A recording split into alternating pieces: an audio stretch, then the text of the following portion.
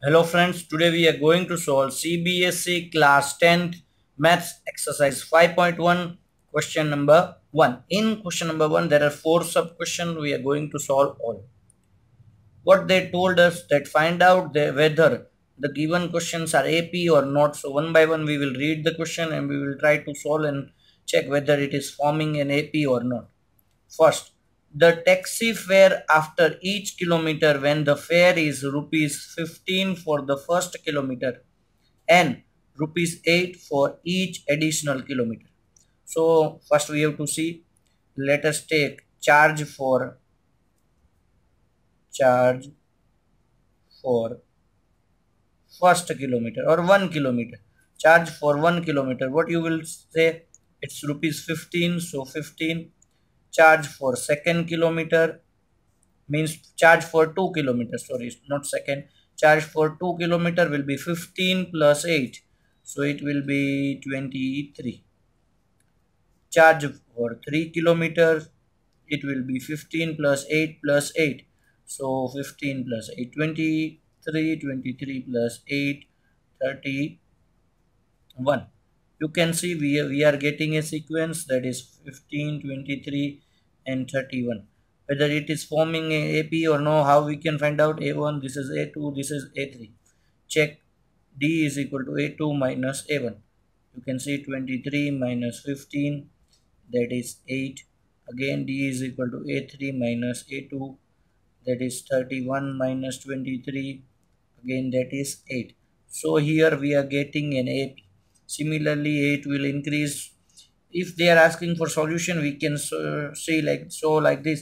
Otherwise we know that it is in ap only. Now for the next question.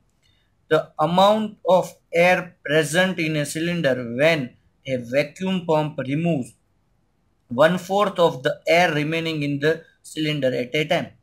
Generally i had seen my students always say sir this is an ap but no this is not forming an ap why it is removing one fourth of the air remaining inside the cylinder. Means every time it is not removing the same air.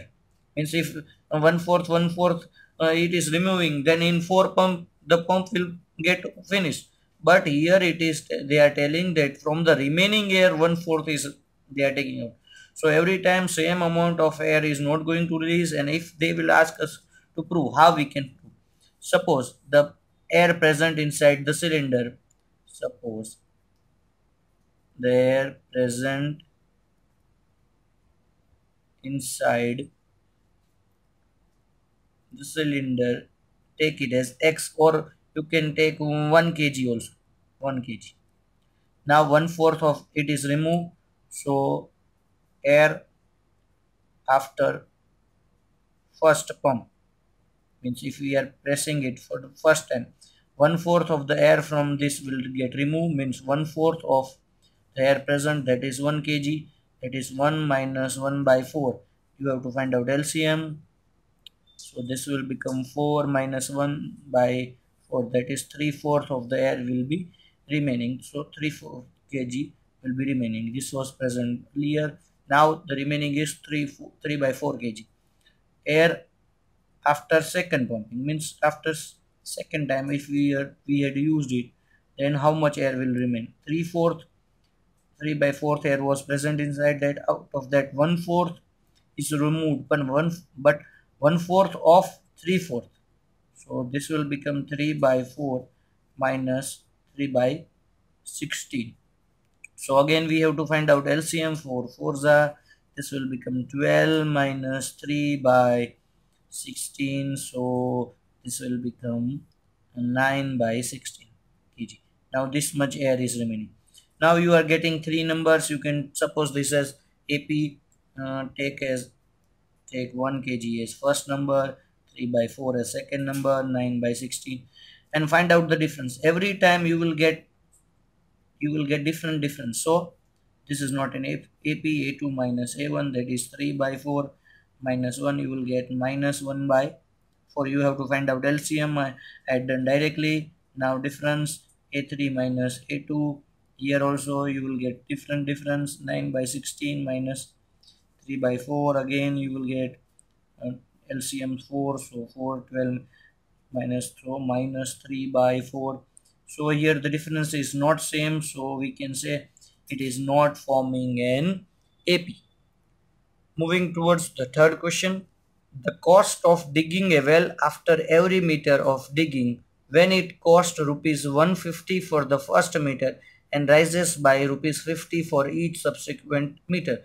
So directly we can see that uh, for first meter charges is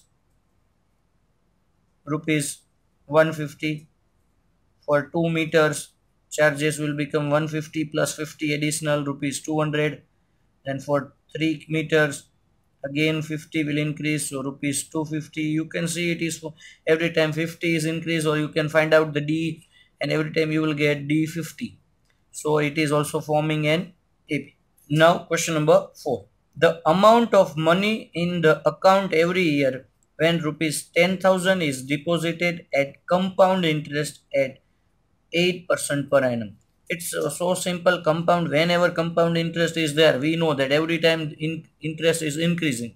So it will not be an ap but i we have to prove by showing it. So first we take the amount present present amount in bank present amount in bank or bank amount deposited in bank is equal to rupees 10000 so first we are having rupees 10000 now I got interest so total amount is equal to after one year. Total amount after one year will be 10,000 plus interest. So we know what is the formula for interest PRT upon 100 so 10,000 into rate of interest into time that is one year by 100 PRT upon 100 this will get cancelled this will become 10,000 plus 800 so the amount will become rupees 10,800 first it was rupees 10,000 now it had become 10,800 total amount after two years will be 10,800 is now our principal 10,800 plus interest how we can find out the interest? PRT upon 100 so 10,800 into rate of interest that is 8 into time 1 by 100 so this will get cancelled. It will become 10,800 plus is 64 and 8 864 so our total amount will become 6 4 8 and 16 carry 1 1 1 11,664 now you can directly also see that amount is not increased same. The first year it was increased 800 now 864 increase so you will not get an AP your difference will be different. So this way we can solve this. And thank you so much for watching my video. If you like it please subscribe to my channel. Thank you so much